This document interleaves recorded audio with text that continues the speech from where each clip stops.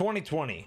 The world went crazy, the channel went crazy, and the game of the future got shit on by a game made by three people. If there's anything that 2020 has taught me with games, it's to value simplicity and core mechanics over ambition. It's to build on the seemingly easy and more approachable to make it more complex as the game progresses. You don't need to have all these options if the variety is not finished. Why don't you leave me? And you don't need to sell all this seasonal content if there is no content. I think the biggest surprise this year was Phasmophobia. Talking to ghosts, calling them a shitter, then getting your face eaten and getting to share that experience with friends. This game is early, but being made by one dude, it's an impressive feat. Just wait on this one for some updates and maybe a future console release. Oh, also, it has VR. Have fun. All right, with that being said, for the first wrapped, these were the best games I played all year. You ever just have a take that you wish you took back? An opinion you maybe rushed and didn't give it enough time to sink in? Meet Cyberpunk, a game that I said didn't have game breaking bugs, just fun bugs. Well, that was until I spawned inside of an NPC for the sixth time and couldn't progress a mission that I realized I I can't do anything. Cyberpunk, please. Yeah, maybe I jumped the gun a little bit. This game is carried by characters and story structures, but it just isn't functional enough to be a game currently on the market right now. A real shame if I'm being honest. But you know which open world and ambitious game worked perfectly fine on release? Hello, sweetheart. Grand Theft Auto 5. Michael, Trevor, Franklin, Three main characters, each with branching plots crossing over until they all have to come together to progress. In a classic bank robber story, there's always that one wild card, but in GTA 5, the devs said fuck that, and the wild card becomes emotionally dependent to the Max Payne character, with Franklin being the balance of both of them. The world adds to all of this with random NPCs being as alive as the city of Los Santos. Rockstar knew this, and after a bumpy start with GTA Online, it's so immersive that it's still one of the best selling games seven years after release. Doom Eternal is a game where you slay demons. Well, that's in any other mode than Nightmare. In those modes, it's all about attacking everything head on. Now, if you want to be a little baby, you play on those modes. But on Nightmare mode,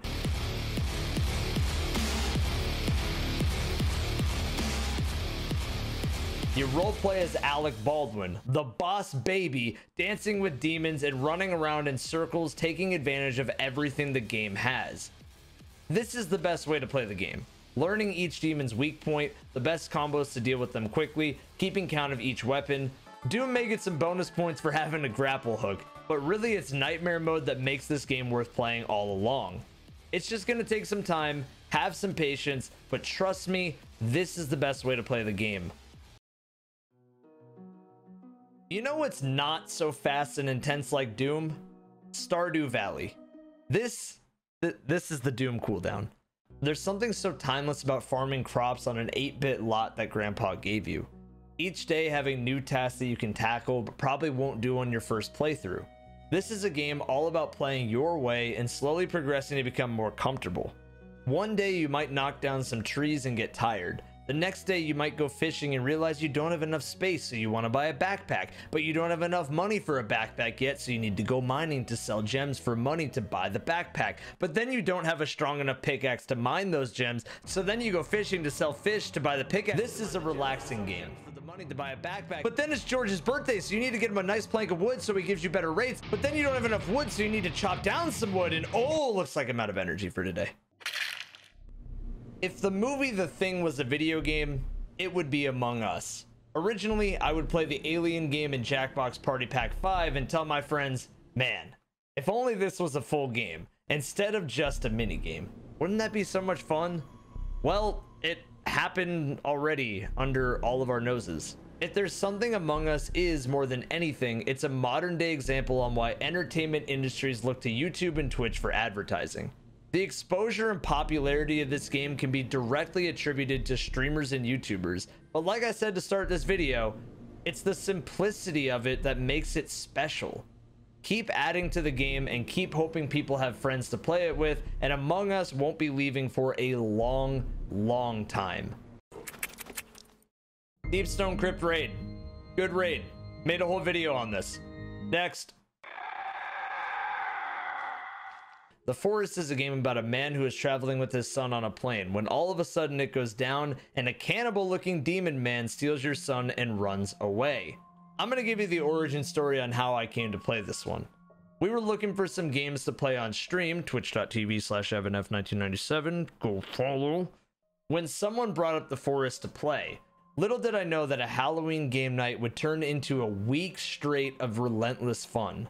Exploring the caves and getting my ass whooped caring about my resources, my stamina, the blood on my clothes, the battery in my flashlight. All of that should have made the forest a tedious game to manage, but I think the forest succeeds in giving the player a great sense of progression at their own pace. One moment you're looking for little Timmy, the next you're building traps to kill the local cannibals. One moment you're hunting for food, the next you're trying not to be the food. Video games and environmental storytelling go together like cheese on macaronis, and the game knows that by being an open world survival game, it needs an environment to deliver its narrative. Like I said, progression is at your own pace, and piecing together the main chunk of the story can be found from being in caves with little clues like drawings and videotapes. There's actually a pretty good story here too, with an ending that I won't spoil. I heard there's a spin-off sequel coming out and I'll definitely be on the lookout for that one. The Forest was a banger. You are a horrible person. Now Valve has been missing for a while, but when Valve is at their peak, they make timeless classics. Portal 2 is a simple game that has mechanics slowly added over time and utilizes all of these in creative ways. The progression is absolute perfection.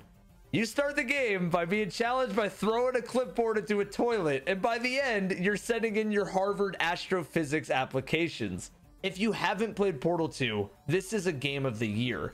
Every year for your bank account, too. On Steam, it's anywhere from 2 to $5 most of the time, and it has co op. If you haven't played this game because you think puzzle games are boring, it's time to grow up. Also, that clipboard toilet shot isn't is that that's not an easy shot to make. I, I swear, I promise. Whenever I sat down to play games this year, there was one that kept calling me over. One game that every time I played it, I left with something great taken away. Hollow Knight is the best game I played this year. The boss fights,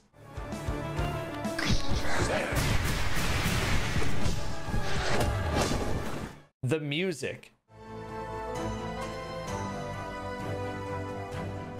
the exploration, which is as rewarding as it is satisfying. One moment I'm in a pit. The next thing I know, I hit a wall and now I'm inside of a beehive fighting giant killer bees. This game is only $15 if you care about price, and this being Team Cherry's first game, it has delivered on everything a Kickstarter sets out to be and more. I mean, hell, the final DLC, which came out very recently, introduced the Pantheon, difficulty options, modifiers, a 40 plus boss rush fight to the hardest boss in the entire game at the very end. The pure definition of endgame content. I can't praise this game enough. It's a game that you can just pick up and play for fun at any time that you want to. Like I said, the focus here is on simplicity and building on raw mechanics. You start the game with nothing on your map, a single jump, and a dash. But by the end, you're zipping through familiar places with new abilities, unlocking new areas, and to do more of the same. This Metroidvania masterpiece made by five people, with two of these being art and music, deserve way, way more love, especially with Hollow Knight being their first official game and Silksong to come in the future. In 2020, it was simplicity that won gaming over above all for me. And Hollow Knight nailed every category.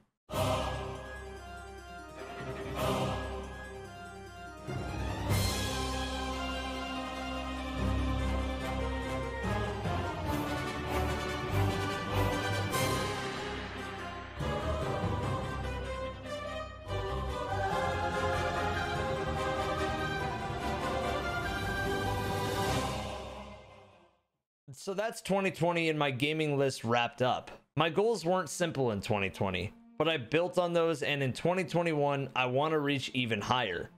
I went from graduating college for a career in screenwriting for TV to writing videos in my room for all of you. So, uh, thanks, guys. I appreciate it. I went from pushing myself for 50k subs on YouTube to going full time. So, I guess this is my first full time official announcement here. Hey, let's go! I accomplished all my goals, and in 2021, with all of your support, I aim to reach new ones. These are my goals for 2021, and I think I got this. I want to reach 300k on the main channel, so if you're new, hit the sub button, help me out. I also started a second channel for YouTube, link in the description, and my goal is to reach 50k subs there by the end of 2021. I also want to reach 300 average viewers on Twitch, something that I absolutely think can be done too. And finally, I want to branch into variety content on the main channel, well, with videos like this, and not just be known for making Destiny content.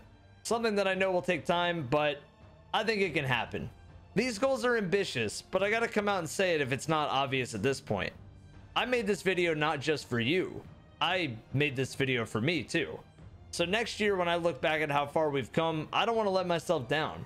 I don't want to let you down. If 2020 was the year of simplicity, and 2021 is the DLC that improves on all of the core systems and makes the content even stronger. Thank you for listening and have a great 2021. Lots more to come from me.